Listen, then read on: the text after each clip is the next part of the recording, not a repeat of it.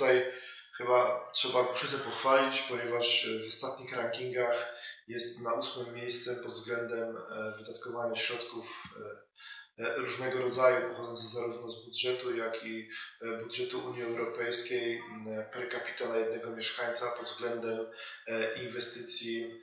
powiedzmy to szeroko rozumianej ekologii. Mam tu na myśli przede wszystkim budowę instalacji fotowoltaicznych, które realizowaliśmy w dwóch takich dużych projektach dla mieszkańców. Pierwszy to w ramach PROW-u, gdzie mieszkańcy mieli możliwość wybudowania instalacji fotowoltaicznych i pomp ciepła z dofinansowaniem 90%. Drugi duży projekt i tam bodajże zrealizowanych e, też dosyć sporo e, tych inwestycji, bo na blisko 8 milionów i również e, dofinansowanie 85% i tutaj mieliśmy z RPO, razem realizowaliśmy ten projekt z gminą Nowa Ruda i z gminą Niechlów. To taki duży projekt partnerski i tam bodajże udało nam się zrealizować tych inwestycji na ponad 8 milionów.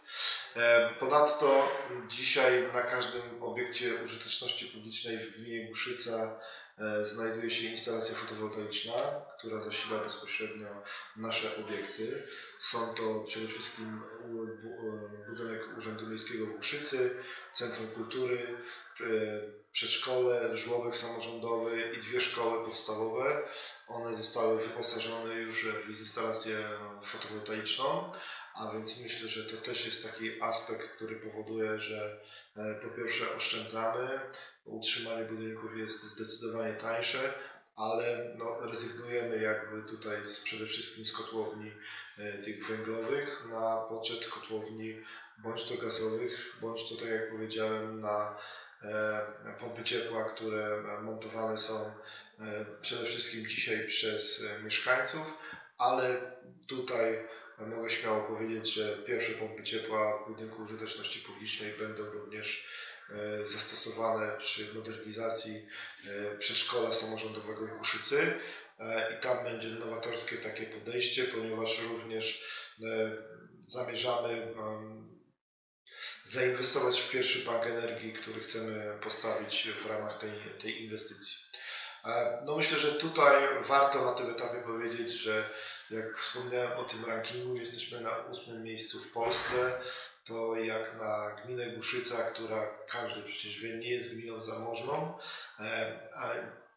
usytuowanie nas tak naprawdę na czubku tej tabeli no, świadczy o tym, że bardzo rzetelnie podchodzimy do wszystkich kwestii związanych z ekologią, z niską emisją, e, z likwidacją e, tych e, bezpośrednich źródeł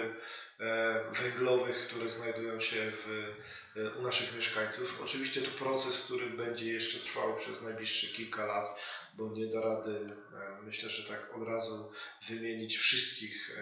kopciuchów, które znajdują się na terenie gminy Buszyca, bo to wiąże się przede wszystkim ze środkami finansowymi, ale nie tylko, bo proszę pamiętać, że to są również stare kamienice ponad stuletnie e, i tamten proces inwestycyjny wielokrotnie wymaga również innych nakładów, tak jakby chociaż e, przewody e, spalinowe, wentylacja, która musi się pojawić, a więc te wszystkie obostrzenia, które wynikają z prawa budowlanego. Ale będziemy w dalszym ciągu jakby naciskać e,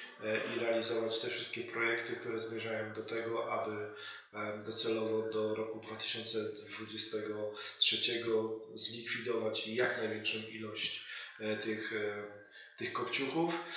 Również myślę, że tutaj na tym etapie warto powiedzieć o naszych staraniach w zakresie geotermii, ponieważ w projekcie, który złożyliśmy, E, przede wszystkim woda, która ewentualnie by występowała e, pod ziemią, miałaby być wykorzystana w, przysz w przyszłości do ogrzewania budynków, a więc to zupełnie jakby zmieni tą sytuację e, grzewczą na terenie, na terenie gminy Buszyca. Czy tak będzie? No to myślę, że ten odwiert dopiero pokaże, czy ta ciepła woda jest tam głęboko pod ziemią, a więc 2,5 km. E, i czy jest jej na tyle dużo, abyśmy mogli e, ją zastosować do celów e, centralnego ogrzewania, bo taki schemat czy projekt żeśmy dołożyli, dołożyli do projektu. Myślę, że tutaj jakby naświetliłem Państwu kilka tych takich kluczowych e,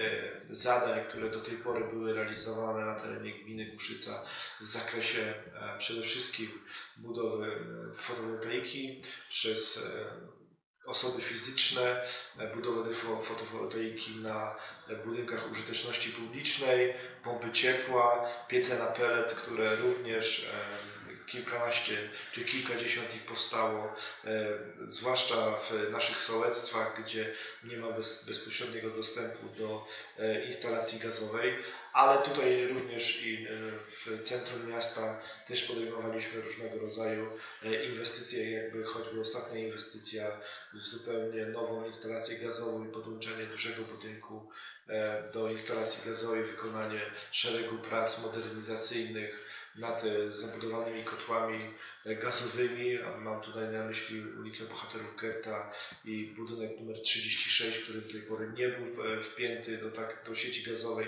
a już teraz jest wpięty. Mieszkańcy wykonali instalację przy pomocy gminy Buszyca. No i myślę, że już są zadowoleni, bo przede wszystkim nie, nie palą w piecach węglowych, nie muszą tego nosić na drugie czy trzecie piętro, ale przede wszystkim e, dzięki temu dbamy o nas samych, o naszych sąsiadów, gdzie nie zatruwamy bezpośrednio e, tego powietrza, które, e, które jest, a wiemy, że w dni mroźne,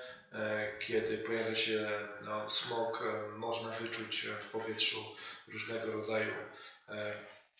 efekty spalania tego, co nie powinno być, co, co nie powinno być spalane. Oczywiście e, mamy jakby w naszych planach i myślę, że to już niedługo nastąpi e, inwestycje w e, ładowarki do samochodów elektrycznych. Mamy podpisaną umowę z firmą zewnętrzną i myślę, że w przyszłym roku powstaną pierwsze cztery ładowarki do,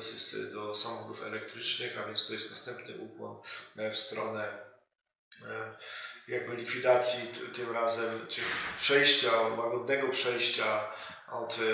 silników benzynowych czy silników diesla e, w stronę e, samochodów elektrycznych. No wiemy, że to ten proces jednak idzie długo i on będzie postępował. E, te samochody elektryczne są bardzo drogie, nie stać jest społeczeństwa na to, żeby je kupić, ale liczę na to, że w końcu pojawią się takie programy, które E, pozwolą zakupić z dosyć sporym e, dofinansowaniem takie samochody, co myślę, że też wpłynie pozytywnie na e, nasz klimat. A więc Pewnie w przeciągu kilku lat również podejmiemy decyzję o wymianie taboru naszego autobusowego na albo tabor elektryczny, albo wodorowy, bo dzisiaj mamy bezpłatną komunikację na terenie gminy Buszyca. Są to samochody z silnikami typu diesel z Euro 6, a więc dosyć nowoczesne jednostki, ale pewnie w następnych latach będziemy musieli pomyśleć o również zmianie tego taboru e, i pewnie pojawią się takie pieniądze w ramach środków unijnych, aby można było pozyskać takie,